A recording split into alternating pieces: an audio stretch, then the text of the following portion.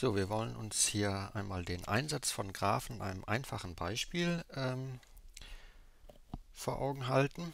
Man stelle sich vor, man habe hier einen, einen Stadtplan. Dieses Graue hier, das stellt einen Fluss dar.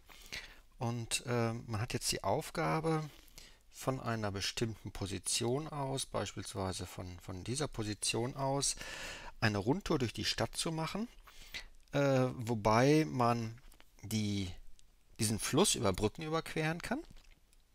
Hier ist eine Brücke, hier ist eine Brücke, hier ist eine Brücke, hier ist eine Brücke, hier unten ist eine Brücke und hier sind auch nochmal zwei Brücken. So, und es ist nun die Aufgabe, dass man von diesem Punkt aus hier losläuft, dabei jede dieser Brücken überquert und so die anderen Stadtteile erreicht, äh, mit der Auflage, dass man aber jede dieser Brücke nur genau einmal ähm, überqueren kann. Und die Frage, die sich dann stellt, ist, gibt es einen solchen Rundweg, der über genau jede Brücke genau einmal führt. So, wenn wir uns das als Betrachter anschauen, ja, dann kann man mal ausprobieren. Für eine Maschine ist das aber schwierig zu verarbeiten, weil dieses, diese Karte, die hier vorliegt, ähm, da stellt sich natürlich die Frage, wie stelle ich das überhaupt ähm, im Computer dar? Auf der anderen Seite kann man sich natürlich auch fragen, brauche ich diese ganzen Informationen, beispielsweise die genaue geometrische äh, Information, wie dieser Fluss hier verläuft, wie die einzelnen Straßen verlaufen, oder genügt eigentlich eine viel abstraktere Darstellung? Und das wollen wir uns einmal überlegen. Also ich bin hier an diesem Punkt äh, und ich kann jetzt einfach mal jeden dieser einzelnen Stadtteile mit einem weiteren Punkt kennzeichnen. Ich mache hier nochmal einen Punkt hin, hier nochmal einen Punkt hin, hier nochmal einen Punkt hin. Und ich benenne die auch mal. Und zwar, ich benenne die mal, das Ding, das nenne ich mal V0. Und ich male mir das hier nebenan einfach auch nochmal hin. Ich schreibe hier einfach V0.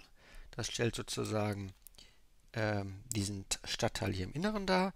Ähm, den Teil hier oben, den beschrifte ich mit V1. Auch hier male ich mir nochmal entsprechenden ähm, Punkt V1 hin. Den Teil hier unten mit V2 und den Teil hier hinten mit V3. Auch das male ich mir hier nochmal hin.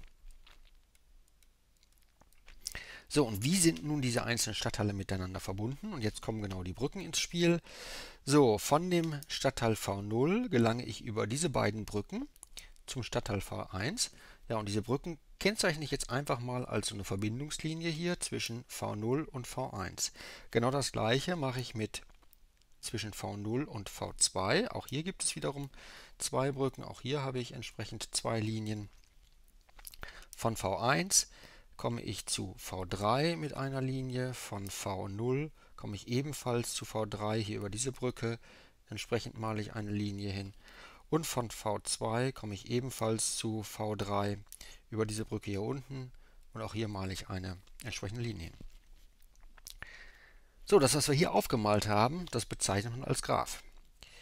Ähm, das ist im Prinzip eine abstrakte Darstellung der Informationen, die wir hier zur Behandlung unseres Problems, nämlich die Suche nach einem Grundweg, äh, ausgehend von einer bestimmten Position, hier der Position V0, in die übrigen Stadtteile mit äh, dem äh, Besuch, mit einem einzigen Besuch äh, dieser sieben Brücken, ja, ob dieser, ob solch ein Rundweg möglich ist. So, ähm, die Karte ist sozusagen die detaillierte genaue Darstellung. Wir haben das Ganze hier vereinfacht und das Problem, was ich hier anhand dieser Karte aufgemalt habe, kann ich nun auch mit Hilfe dieser abstrakten Darstellung dieses Gebildes aus, ja, hier Punkten, äh, die irgendwie beschriftet sind und Linien zwischen diesen Punkten äh, bearbeiten.